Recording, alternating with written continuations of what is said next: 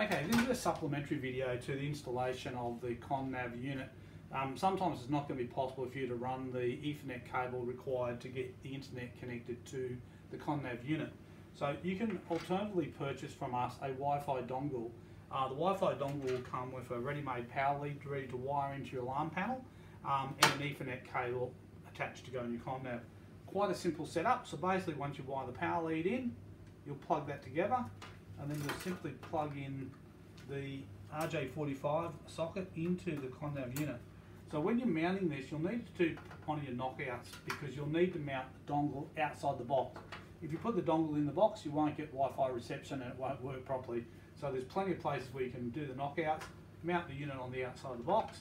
This dongle does require some setting up, so we're going to take you through that process. That This part's easy, installation of it onto here, but there are a few more steps um, which we'll need to do. One of the things that you will need is you will need your Wi-Fi password.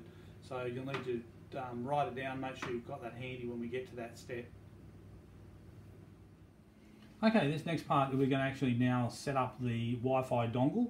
So go into your, um, you can use an iPhone or your, um, uh, any wireless device, go into your wireless networks and what we're looking for is a Vonets connection. This Vonets connection is actually dongle. So what we do is we tap on that and we want to connect to that. So we basically want to make a connection from this device to that. So you'll see it there trying to make the connection. There will be a detailed um, PDF basically taking you through step by step of doing this, the wireless setup, because there is a few codes and things to remember, um, which I don't, you, you might remember from the uh, video. You'll notice this usually pops up and says no internet connection because the basically it can see that there's a Wi-Fi connection there, but can't see the internet. Um, if you just give it a little bit of time, it'll eventually connect. So now it's connected. It can take a couple of minutes sometimes to connect. That's fine. Now you're connected to that. What we do then is go out of that settings and go into um, something like Safari. Um, if it, it will ask you for a password when you connect, and it's just one, two, three, four, five, six, seven, eight, and that'll be in the document anyway. So basically, when you go into Safari, um, just open a new page. And what we're going to do, we're going to type in here um, an IP address, and the IP address is for the for the Wi-Fi dongle. So we want to type in 192 uh, dot um, 168 dot 254 dot 254 254 there we go go what this will do is this will connect us to the actual device so we can actually set it up. So this is where you're going to need to have your Wi-Fi um, password ready. So you can see we're connecting to the dongle. There we are. The default uh, login is admin. And the password is admin as well, all lowercase.